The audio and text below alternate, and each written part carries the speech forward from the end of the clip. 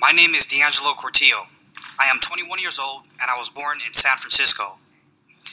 At age three, I was taken from my mother when she attempted suicide and placed under legal guardianship with my grandparents. For the next five years, I had a normal life. I went to preschool, Paul Revere Elementary School, made friends, and learned. Then a series of events occurred within my family, and I was abruptly taken from my grandparents and placed back home with my mother. My life was turned upside down. Several months later, I was placed with my alleged father where I was sexually abused. I was then placed in a foster home, and in the next few years, I amassed over a dozen home placements. By the time I was 11 years old, I had an IEP, been in about five different schools, uh, missed countless days, was expelled twice, and was completely lost. And was completely lost. This was a crippling blow to the beginning of my education.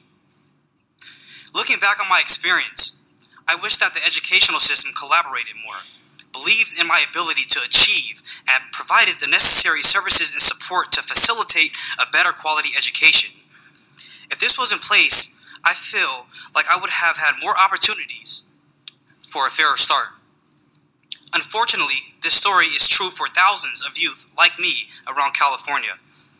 But today, by voting to pass AB 854, which will expand support for, to students in all foster care placements, make improvements to the Foster Youth Service Program, and establish a, fo- a Foster Youth Services Director in the California, California Department of Education, you have the opportunity to help the youth that were behind me, my little brothers and sisters, who still can't find stable homes and are bouncing from school to school, but who need, want, and, and are entitled to a quality education and a system that is sensitive to their needs. Today, I'm an intern at the National Center for Youth Law and a board member uh, on the Transitional Age Youth Advisory Committee in San Francisco.